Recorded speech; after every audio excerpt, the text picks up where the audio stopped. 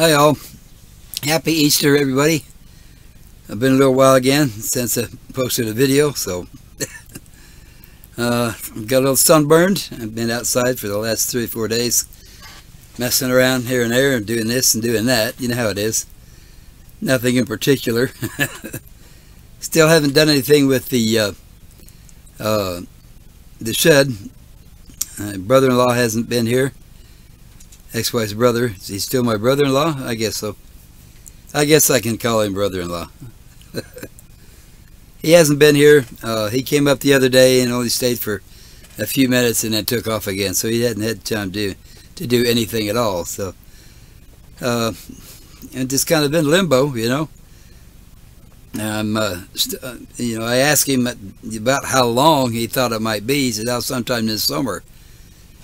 So I said I was going to go ahead and start planting some stuff. He says, yeah, go ahead. So uh, I'm going to do some cucumbers and uh, possibly some, uh, uh, yeah, I don't know. I don't know. I thought about peas, but I think it's going to be a little bit too warm for it yet. Uh, you know, it's getting to start, starting to be too warm. So uh,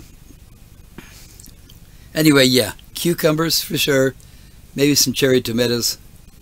Uh, the uh, the old tomato plant that I that I started a while back is looking pretty sad, so it's uh, probably about time to pull it out and start over. Even though you know, I mean, it's got eight uh, anywhere from 10 to 16 hours of sunlight, but it's inside, so it's not really getting any fresh air. So anyway, uh, I might go ahead and start another tomato plant like I said, and a cherry tomato and a cucumber. I love those cucumbers. Um, um, oh, I started uh, pickling eggs. Hard-boiled eggs, you know, throw them in a, in a brine and, and get them all pickled up. Boy, that's really good. I love that stuff. And uh, I guess we're going to do some sausage, pickle sausage here pretty soon. You know, it's just a bunch of little stuff. I'm trying to keep myself entertained uh, well in lockdown, of course. So I can go out and out in the uh, out in the front of the motorhome, and that's about it. So uh, Cheryl next door, she's uh, she's been pretty much isolated. She doesn't come out too much, and, and of course with Madison, uh, her granddaughter is is um, home from school. They're they're out for the rest of the, of the season, so uh, she's been busy taking care of her. I, you know, it really isn't much to talk about. I imagine everybody else is is getting pretty sick of hearing all about the virus and all that. So I don't want to talk about it. Anyway, feeling good. Um, in two weeks, I have a, uh, another appointment with the surgeon uh, for my shoulder, and uh, he said if everything goes right, like it should, he's going to release me on that. So uh, at this point, he said I can lift anything I want to lift now. Anything I can.